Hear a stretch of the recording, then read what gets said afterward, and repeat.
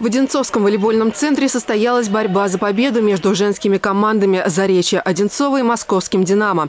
Игра совпала с туром молодежной лиги в Балакове, куда уехала команда «Заречья».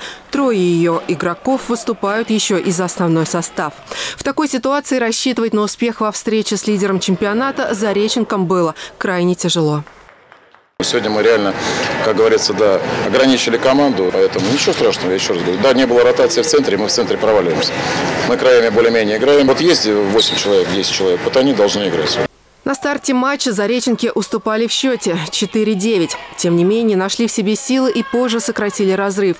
Но, увы, первый сет закончился со счетом 16-25 в пользу «Динамо». В самом начале второй партии хозяйки матча смогли выиграть первые два розыгрыша – 2-0. Но «Динамовки» быстро отыграли преимущество и закончили партию 15-25 в свою пользу. А вот в начале третьего сета Заречье прекрасно начали. Удивили и зрителей, и соперников. Атаковали и вырывали победу. До конца партии шли с равным счетом. Но и тут победа оказалась за «Динамо».